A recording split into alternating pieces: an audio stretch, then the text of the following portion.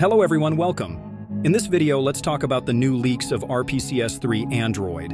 It's based on the RPCS3 PC version 0.0.34, and the device used for testing is unknown, but it really works fine. And also the UI will be changed when the official release is announced.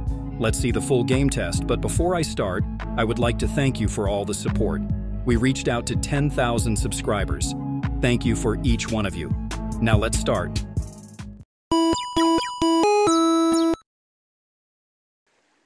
Where's your pride? You are Saiyan, the greatest race of warriors in the universe.